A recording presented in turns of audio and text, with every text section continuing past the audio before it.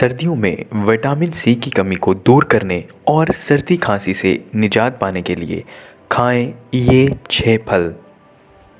दोस्तों, सर्दियाँ अपने साथ कई बीमारियों को लेकर आती है।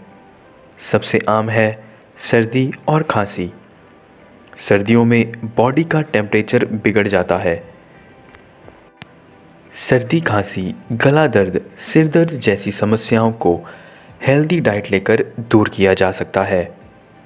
यहाँ हम ऐसे छः विंटर फ्रूट्स के बारे में बताएँगे, जिन्हें इस सीज़न में आप डाइट में ज़रूर शामिल करें।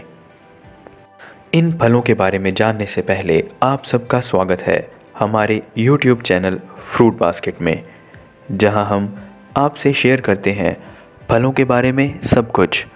जानिए इनके फ़ायदे, इनके नुकसान साथ ही साथ सही तरीके और सही समय पर खाने के फ़ायदों के बारे में। दोस्तों, सर्दियों में कुछ ऐसे फल होते हैं जो हमें गर्म रखने में मदद कर सकते हैं। इस वीडियो में हम ऐसे कुछ फलों के बारे में बात करेंगे जो आपको सर्दी से बचाने में मदद कर सकते हैं। सर्दी का मौसम दस्तक देने लगा है। और यह वो दौर होता है जब सेहत के प्रति अतिरिक्त सतर्कता बरतना ज़रूरी होता है। ठंड में खान पान का भी बड़ा महत्व है। सही समय पर सही चीज़ें खाई जाएँ तो सेहत को फ़ायदा होता है। इस मौसम में आने वाले फलों को खाने से आप अपने शरीर में खून की कमी, बालों का झड़ना, हड्डियों को मज़बूत करना, त्वचा की देखभाल और भी कई परेशानियों में आपको मदद कर सकती हैं। तो आइए जानते हैं इन फलों के बारे में, जो सर्दियों में आपको कई तरह की समस्याओं से बचाने में मदद करेंगे। सबसे पहले बात करते हैं संतरा की। दोस्तों, सर्दियों में संतरे खाने से शरीर गर्म रहता है। संतरे के सेवन से सर्दी खांसी में भी मदद मिल सकती है। संतरा फाइबर का स्रोत है और साथ ही इसमें विटामिन भी भरपूर मात्रा में होता है। आगे बात करते हैं अमरूद की। अमरूद को कई बीमारियों में डाइट में शामिल करने की सलाह दी जाती है। यह डायबिटीज़ मरीज़ों को बहुत फ़ायदा पहुंचाता है। ब्लड शुगर के साथ ही कोलेस्ट्रॉल को कंट्रोल करने में भी मददगार साबित होता है। साथ ही साथ सर्दियों में ऐसी परेशानी होना आम बात है। पर अमरूद के सेवन से आप इससे बच सकते हैं। इसके बाद बात करते हैं पपीता की। दोस्तों, शरीर को अंदर से वार्म रखने में सर्दियों में पपीते का सेवन करना चाहिए। यह ठंडे तापमान से निपटने का एक प्राकृतिक और पौष्टिक तरीका है।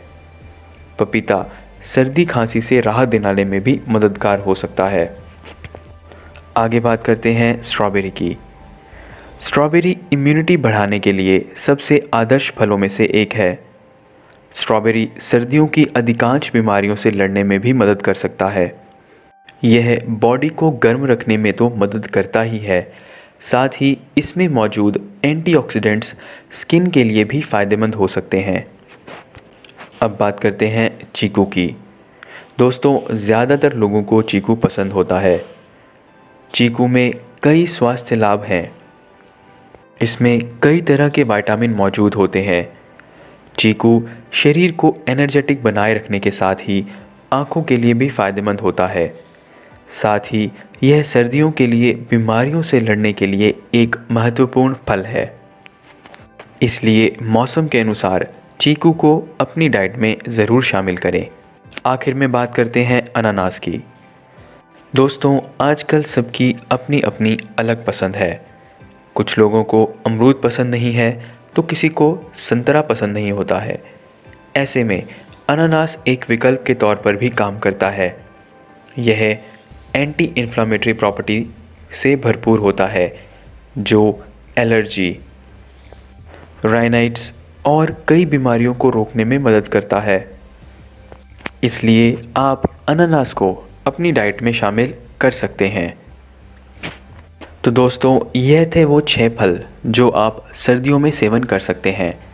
इसके अलावा अगर आपके पास भी कोई फलों से जुड़ी जानकारी है तो हमारे साथ कमेंट सेक्शन में ज़रूर शेयर करें।